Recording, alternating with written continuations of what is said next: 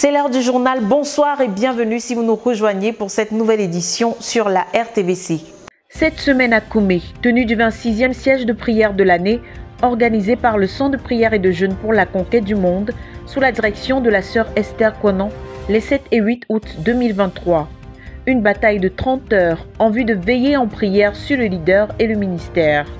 Voilà, c'est tout pour les titres. Tout de suite, le journal.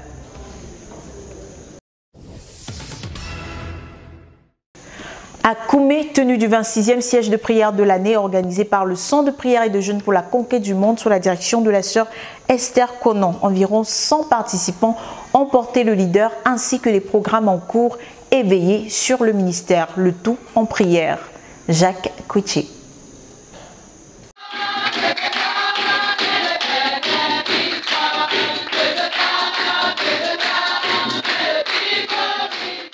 Le Centre de prière et de jeunes La Conquête du Monde a achevé ce mardi 8 août 2023 à Koumé le 26e siège de prière de l'année.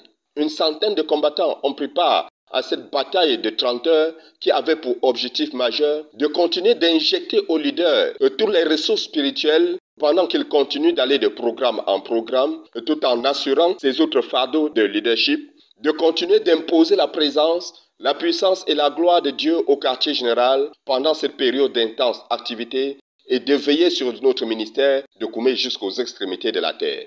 Le lundi 7 août, à partir de 8 heures, en effet, la sœur Esther a rassemblé son armée pour engager les hostilités. Ils ont d'abord béni le Seigneur Dieu pour le privilège qu'il leur accorde de participer à ces batailles, de le servir dans le ministère de l'intercession. Avant de poursuivre, les soldats ont été exhortés à coopérer avec Dieu pour supplier et continuer de supplier pour servir afin de ne pas être mis de côté. Chacun doit supplier pour se donner, supplier pour servir, car c'est le service rendu au Seigneur Dieu de toute la terre et il en est digne. À la suite de cet encouragement, il y a eu d'abord l'intercession pour le dépositaire de la vision.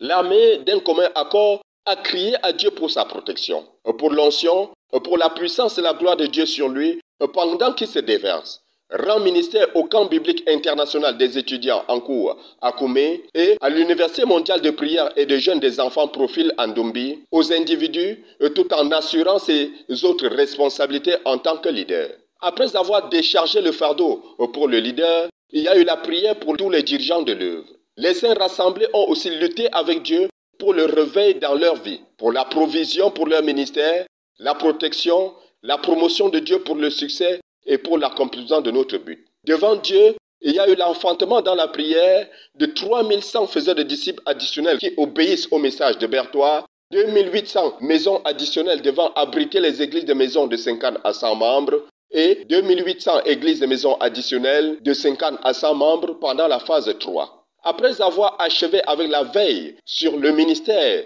et sur chaque sein de la communauté missionnaire chrétienne internationale, de Koumé jusqu'aux extrémités de la terre, les soldats ont supplié Dieu d'amener à l'existence la prochaine bataille de 192 heures qui commence le 15 août prochain à Koumé. Ensemble, petits et grands se sont d'abord tenus devant Dieu et les tout petits à l'école de prière de la sœur Esther ont rendu ministère à Dieu leur Père. Et l'armée tout entière a proclamé Nous sommes des serviteurs inutiles. Nous avons fait ce qui nous a été honoré de faire et nous voici prêts pour la prochaine bataille.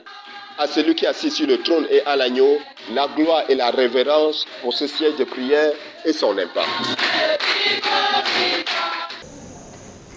L'UMPJ des enfants profile la prière fait le 30 juillet 2023 pour une période de 21 jours. Environ 202 participants venus de 5 nations présents à Ndumbi.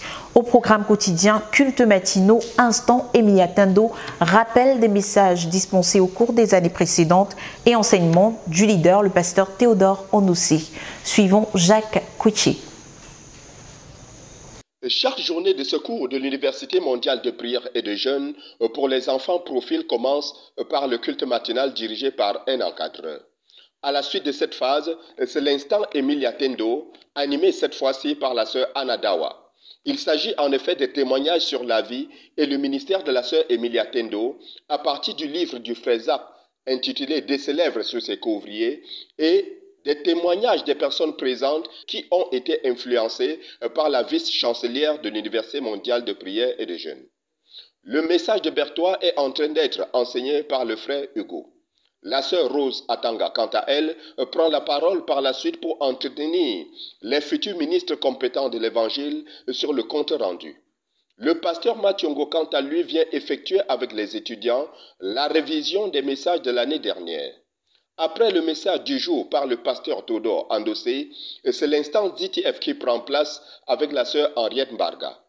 Les activités parallèles de ce cours comprennent entre autres l'horticulture ou bien l'art de cultiver et d'entretenir les jardins. Ils sont en train d'être enseignés sur la tannerie, la pâtisserie. On les introduit également au métier du lavage et blanchissement du linge, la rôtisserie, la graphique, la décoration et les activités sportives. Il y a également un atelier pour les stylistes et les modélistes. Ndombi pour la RTVC, Jacques Kouiché. Le pasteur Théodore Andossé a commencé son enseignement en précisant aux 202 participants constitués d'encadreurs et étudiants venus de cinq nations que c'est un cours pour préparer les ministres compétents de l'Évangile, des profils du royaume de Dieu, des étoiles de notre ministère, des candidats à être phénoménaux. C'est un cours pour ceux qui vont remettre le but au Seigneur Jésus. C'est un cours pour les garants que tout ce que Dieu nous a donné à travers le Zach soit accompli. Pour les garants de notre succès global.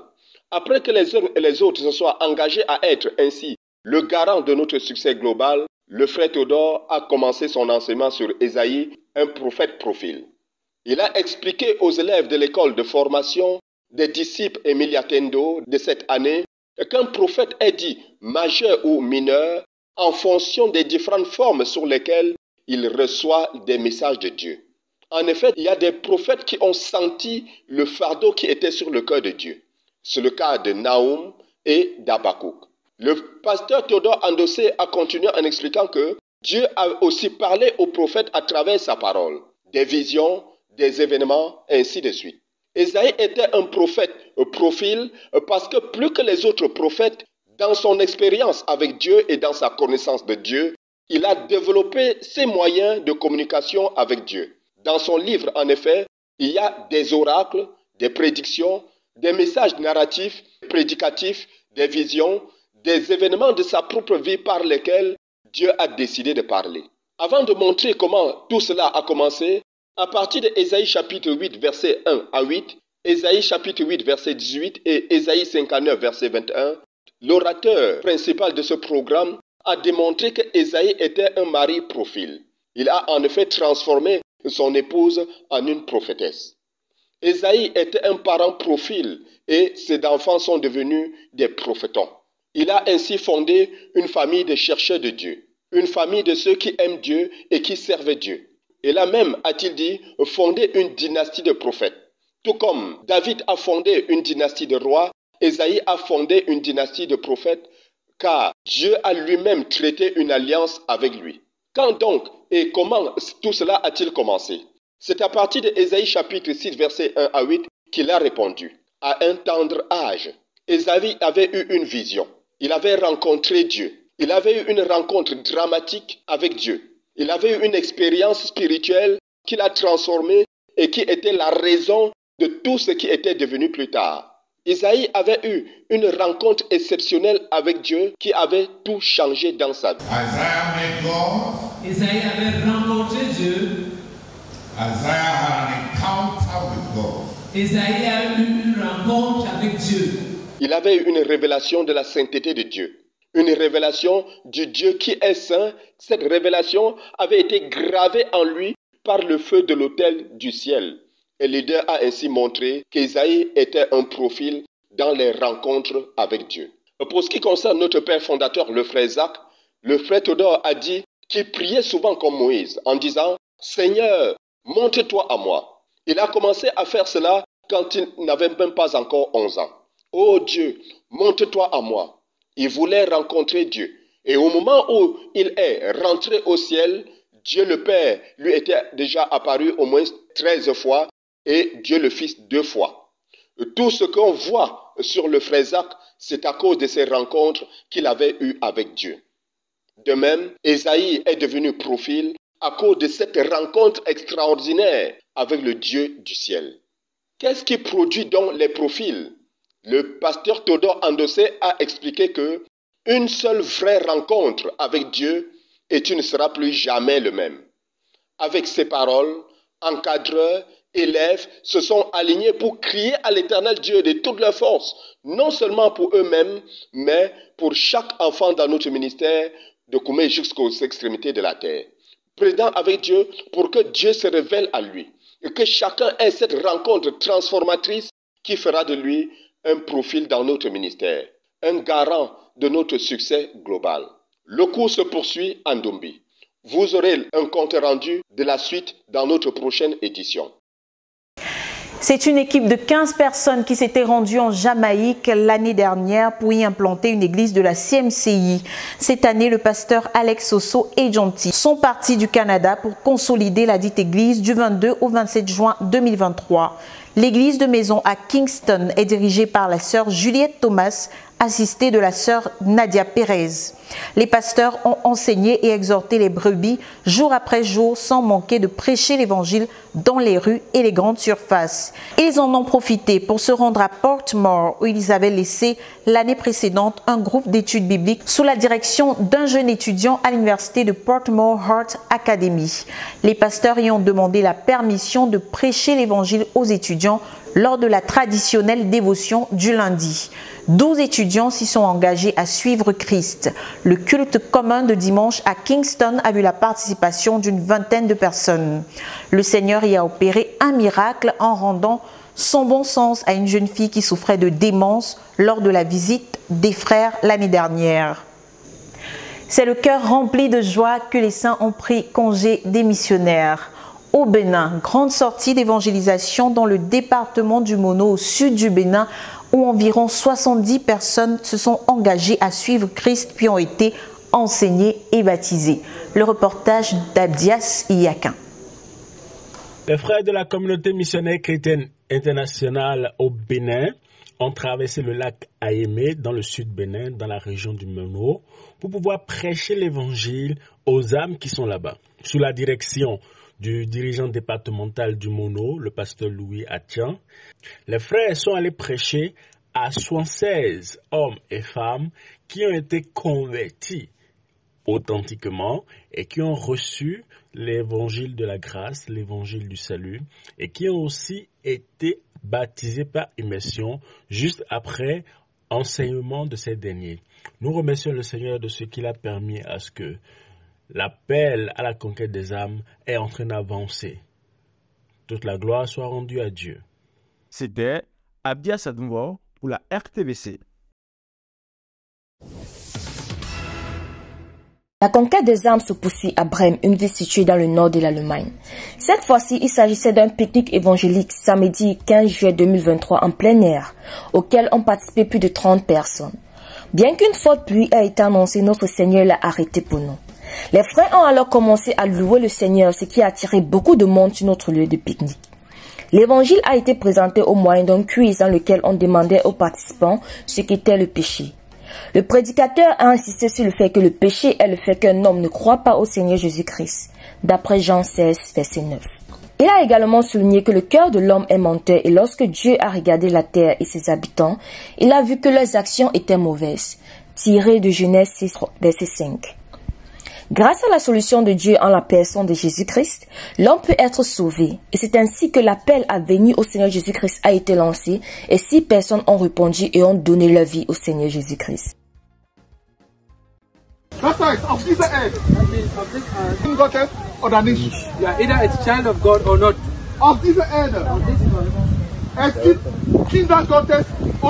Nicht Kinder Gottes. They are children of God and not, not children of God. Bist du ein Kind Are Gottes? you a child of God? Bist du ein Kind Are you Gottes? a child of God? Bist du ein Kind Gottes? Are you a child of God? Bist du ein Kind Gottes? Are you a child of God?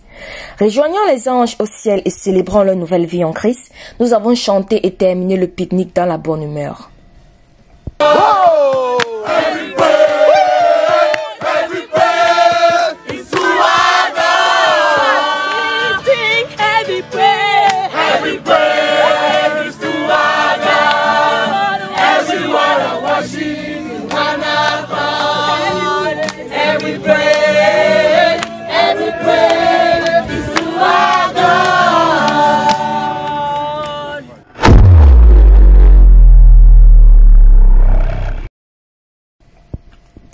Le dimanche 16 juillet 2023, 12 villes du nord de l'Allemagne dans lesquelles nous sommes représentés étaient présentes lors de notre service commun. Les frères étaient heureux de se revoir. La joie se lisait sur leurs souris et leur accueil chaleureux. Nous avons été également bénis par les témoignages des frères dont certains sont emploi, bébé, acquisition de maison, salut et plus encore.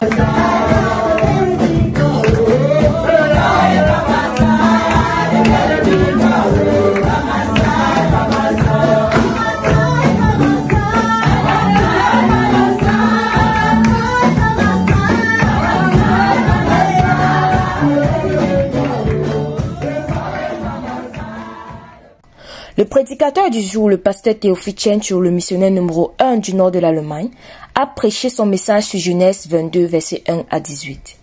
Il encourageait les frères à obéir à Dieu. Il a dit, je cite, Dans la vie chrétienne, on ne grandit pas parce qu'on a cru il y a longtemps. On ne grandit avec le Seigneur que lorsqu'on lui obéit. Il a continué en disant que le plan de Dieu s'accomplira toujours et que s'il ne trouve pas un croyant dans l'église pour accomplir sa volonté, il utilisera un non-croyant pour le faire. Ceci a été démontré dans Ésaïe 45, verset 12 à 3. Il a terminé en encourageant les frères à abandonner tout ce que le Seigneur leur demande et à lui accorder une obéissance totale. C'est dans une ambiance fraternelle que le service s'est terminé.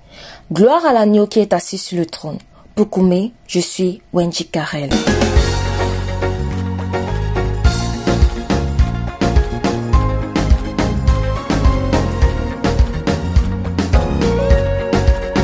Téléspectateurs, c'est la fin de ce journal. Le camp biblique des étudiants se poursuit à Koumé. Rendez-vous la semaine prochaine pour le point sur les enseignements du leader, le pasteur Théodore Endossé. Entre-temps, restez connectés à la Radio Television Voice of the Cross. C'est la chaîne de la Bible. Que Dieu vous bénisse.